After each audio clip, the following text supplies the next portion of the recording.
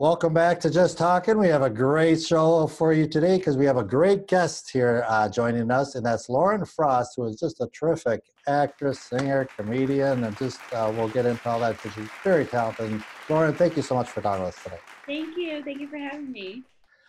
Well, Lauren, let's hear about where did this all start when you got uh, to, to uh, perform or act? Uh, where did that all get started with you? Uh, well, I'm from Downers Grove, Illinois. Um, I love your accent. It sounds like home. Uh, and I was just a kid who loved music and theater, and so I was a I was a theater nerd in Chicago. I did uh, local theater, which turned into professional theater at about uh, age 12 and 13. I did um, the American Girls Theater there in Chicago. Uh, I was part of that first cast uh, at the American Girl Theater.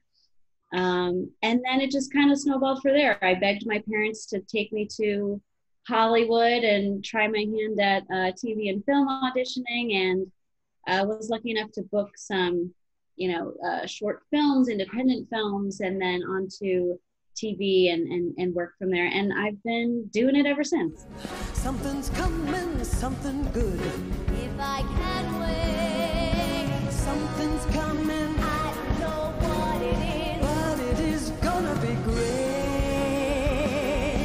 When I looked over your work, it seemed like early on you performed with Barbra Streisand. Is that correct on a tour? How did that all come about?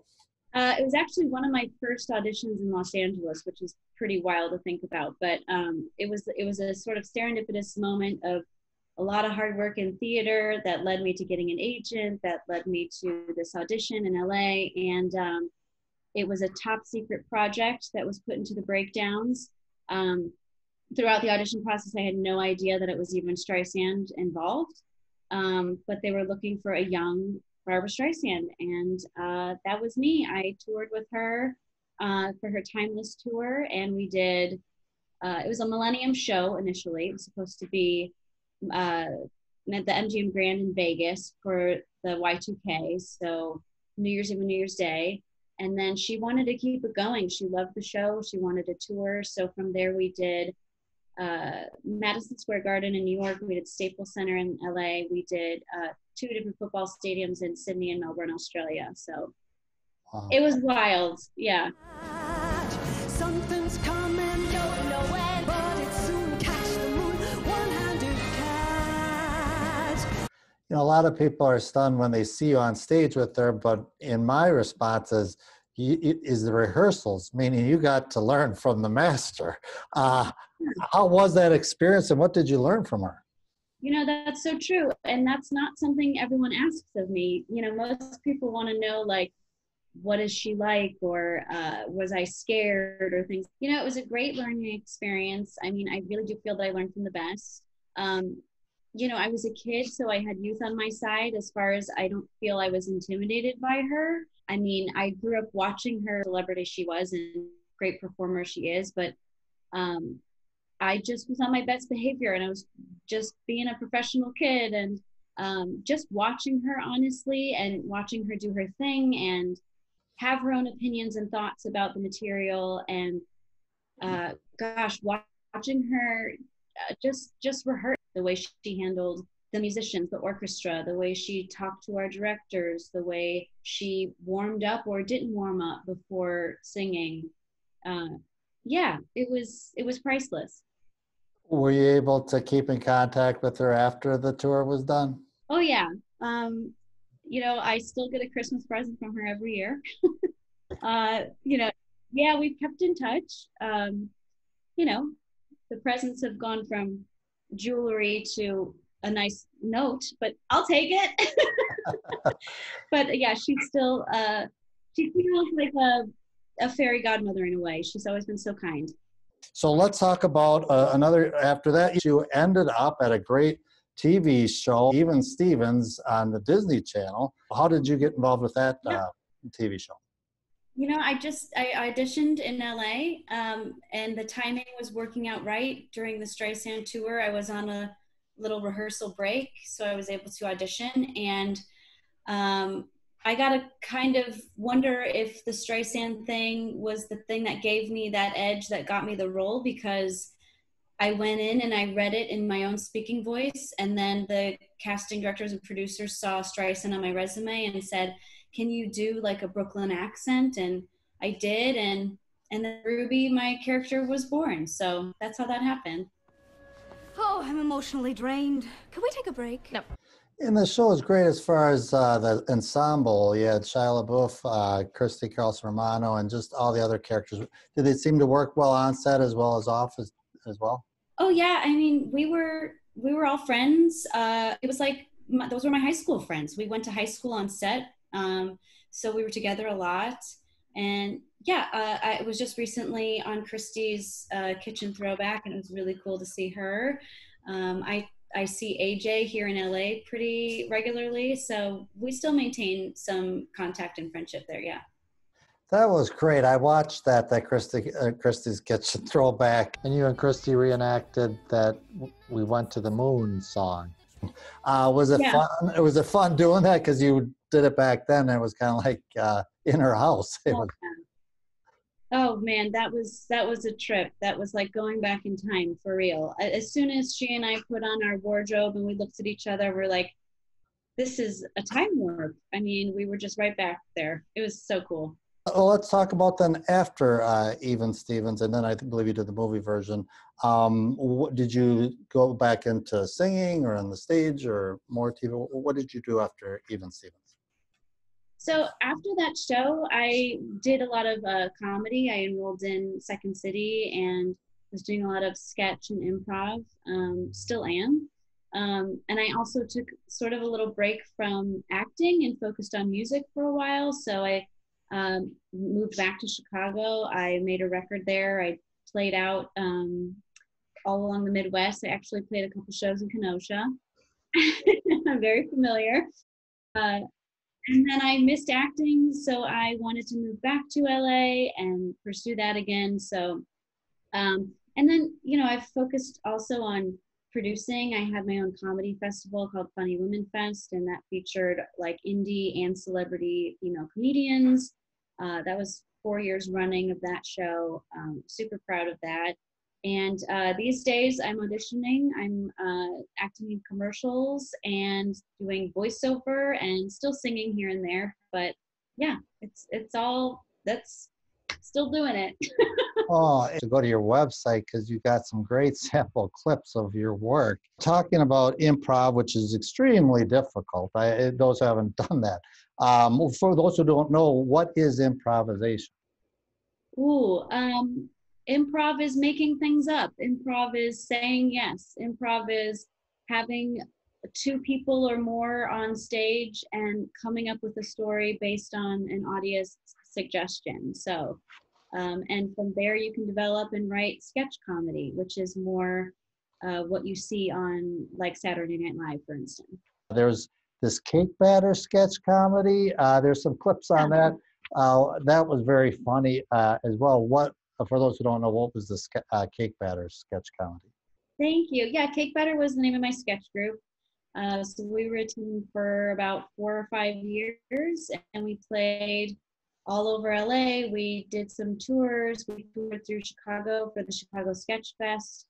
Um, we were a teaching team together, and we did a lot of video content. Um, our our content landed on some uh, online comedy networks and things like that. Uh, and it mostly gave me a lot of comedy writing opportunities too. So, so who were some of your inspirations uh, for comedy over the years?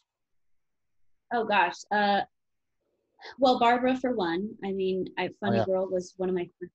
I fell in love with that. Um, I was a nerdy kid who would fall asleep watching I Love Lucy, so Lucille Ball is a huge influence. Um, my dad, since I was a young age, got me into Steve Martin, uh, Bill Murray. I adore Gilda Radner. Um, gosh, the list goes on and on. But uh, yeah, those are some of my my favorites. The clips on your uh, website were so good. Is that you don't do a lot of hair and makeup, but the difference in character is there just a little bit off. Do you study people, or did you take behavioral science to to figure out all these different characters because you're the same person, but it's very you're very good at it.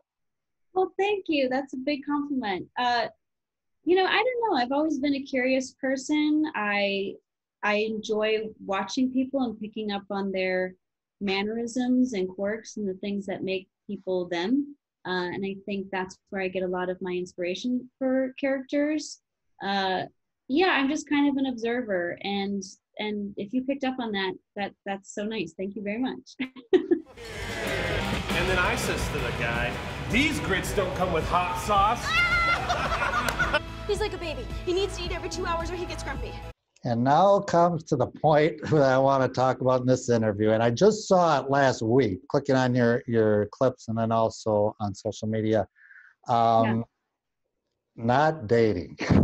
That is absolutely phenomenal. I mean, I I am just stunned on how great that is. And the reason why I encourage people to watch it may start off as a you know a running joke, but at the yeah. very end, you fit you ha- there's this heartwarming, touching moment between these characters, and it's so it's so worth seeing. Is I, I sat back and I was like, finally, you know, it's like somebody that that did something really neat. Or how did this project come come to be?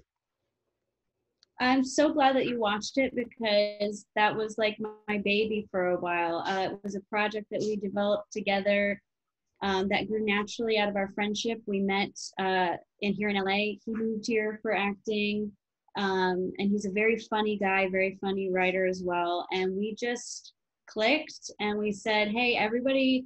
We, we pulled from our real life, you know. Everybody assumed we were dating, but we were just really great friends that could read each other's minds and had some chemistry there, and we ran with it. And um, yeah, there are several projects like that that I've made uh, in the hopes that people would see them, in the hopes that it would help my casting, in the hopes that uh, we could get some eyes on our work and maybe have a network or something pick pick it up. You know, these days I'm working on several projects like it that are in development. So uh, that was one that was so much fun to make.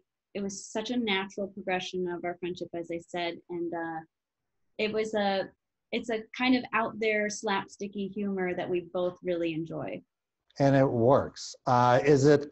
Uh, did you do one episode and see how it went, or did you plan the whole six and then and then film? Yeah. Them? So we we wrote. Um, I think we wrote twelve altogether. We wrote more than we actually shot, but then we decided on our six favorite episodes and shot those all within I want to say two weeks time. Um, yeah, it was a blast. Me there, I'm more of a wine drinker, so. Oh, I knew it! I pegged her for rosé. So I says to Trent, I says, give her the wit. She's gonna love it. And then she got the wit, and the rest is history. History! Yep, that's about it. That's all that happened.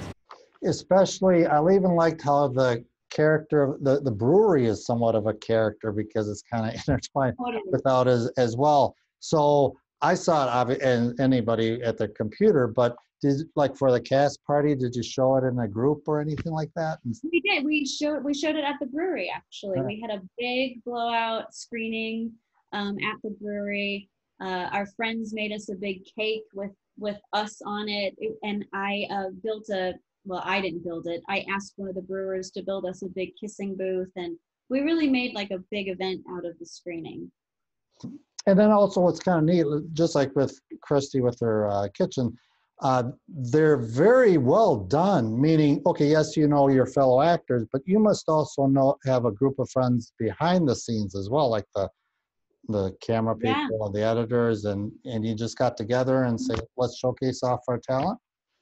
Yeah, you know, I think there's that's my favorite thing about this city, especially, or being in the industry as long as I have, is you develop those friendships and relationships and uh, there's so many talented people out here, and it's like, why not get together and make something that we love and that could benefit everybody? And um, I'm I'm really glad you picked up on that on that because uh, you know you put your heart into these things. So keep making jokes. Yeah, jokes, jokes are good. Are good jokes are good. Does your girlfriend want to ride with us in the ambulance? Who?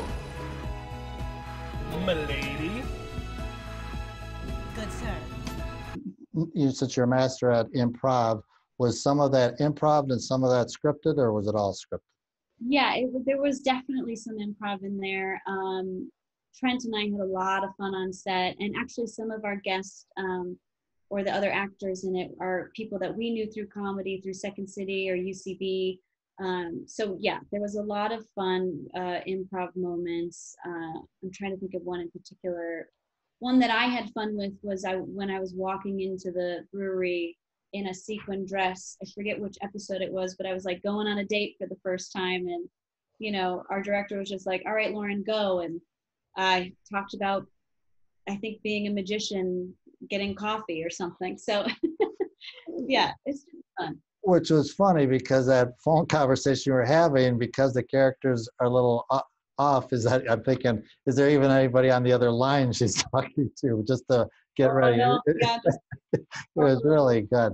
Um, and then yeah, the the I don't want to give away the ending, but just that the last episode is is very good acting as well, and just it's just a great Yeah. show. So tune in to check this uh, program out called Not Dating. Uh, uh, excellent on YouTube. Oh, um, on also on your website, uh, vintage clothing. Let's talk about that. Where did all that come about? listen i've been a collector for years um, i i love thrifting i love estate sales i love flea marketing i love fashion i've always been that person to wear something a little out there and um, yeah i've just been a collector and being that i have a lot of downtime as an actor um, I wanted to pursue a, you know another passion of mine, which is fashion. So I do work as a stylist here in LA as well. Um, so everything I do is within production, and the vintage collecting and buying and selling and dealing has sort of just been a nice little thing that came out of my styling work. I even liked uh, those clips. you did a protocol Nice Rack or something like Yeah. that. You, you- you add your humor into, but it was Yeah. once again showcasing. You might as well because it works once again. So Yeah, Um, and that, the Nice Rack is so fun for me because it combines all the things I love. It's it's comedy and improv. It's it's hosting and being on camera, and it's fashion. It's all the things. Hey everybody, it's Lauren, your friend, actor, stylist, and vintage fanatic, coming to you from LA, and welcome back to Nice Rack, the show where I show you my rack. Well, I'll tell you, if SCTV ever gets reboot, you're easily a cast member. That's for sure. Um, Oh, so what? Let's talk about your website. So what's on it, and where can we see your website? Sure. Um, my website is just my name, laurenfrost.com. Uh, I'm I love Instagram, so if you want to keep up with me, you can keep up with me there. It's just my name at Lauren Frost. Um, I've still, like I said, I'm still auditioning, and I've got other projects in development. Um, one that is involving vintage and comedy, and I hope I hope that uh, I'll be able to share some of that very soon. Did you record a CD that's available? I did. I did. Uh, it's actually it's. I think it's on iTunes still. Oh Oh. gosh, it was years ago. Um, but the album's called Words for the Birds. It was my angsty early twenties pop album. So you could check that out if you're interested. Well, Lauren, thank you so much for talking with us. Once again, you're just an excellent comedian, you're a vocalist, musician, um, a stylist, uh, all around, and, and we thank you so much for talking with us today. Thank you. I really, really appreciate it. Thank you so much.